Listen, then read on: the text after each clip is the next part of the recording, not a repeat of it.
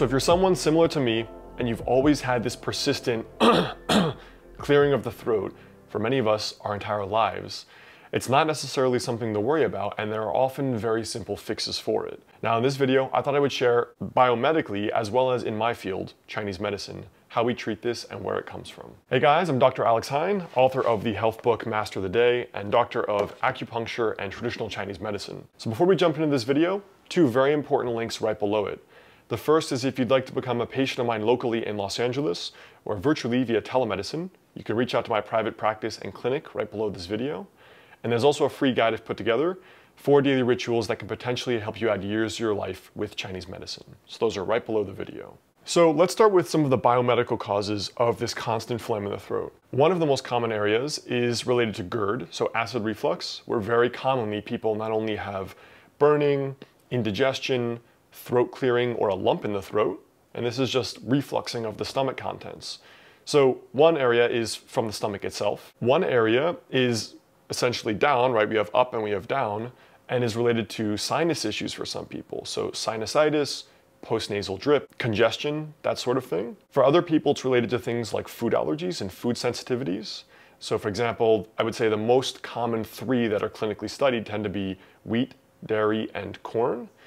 Eggs are another one as well that tend to be a big trigger for some people. So overview, that's the biomedical side. That's most likely when you go to your primary care physician, what you're gonna hear are the causes for this mucus in the throat. But Chinese medicine has a very, very distinct cause of this, and in my experience, it's very, very easy to approach this with Chinese formulas and what we do clinically.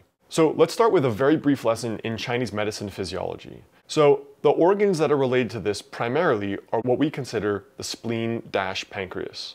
So this pattern of phlegminess, mucus in the throat, is often what Chinese medicine considers a sign of dampness. Dampness is a cluster of symptoms together in what is called spleen qi deficiency. So I like to think of this as spleen pancreas function deficiency. And this commonly occurs with other symptoms, for example, bloating, looser stools or a tendency towards diarrhea for people, food sensitivities, excessive abdominal fullness overall, sometimes edema or fluid retention. This is like the traditional yeasty or candida constitutional type. Thick white tongue coat is very, very common. Excessive saliva in the mouth overall. And the symptom of unknowingly having to clear your throat. So this is sort of a phlegmy constitution in Chinese medicine.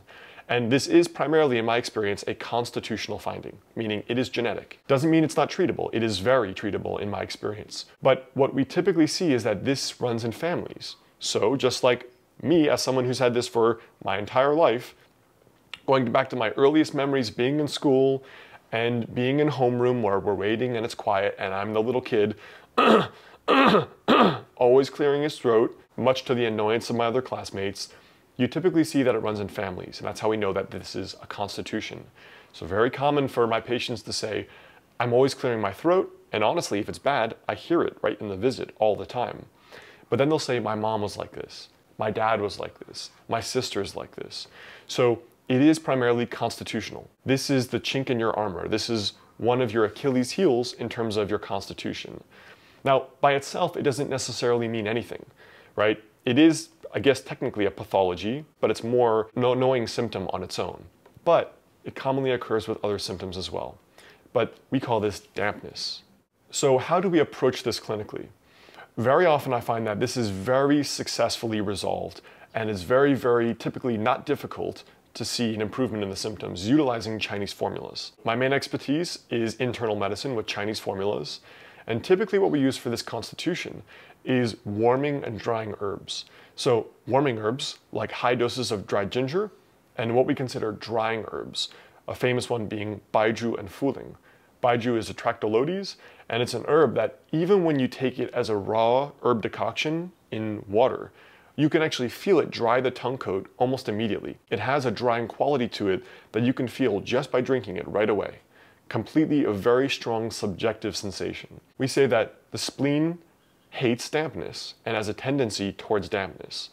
So dietarily, foods that are going to cause an issue, for example, dairy, is a very mucus and phlegmy producing food. So people who have issues with sinus congestion, mucus, tendency towards asthma, should avoid these certain food groups in general.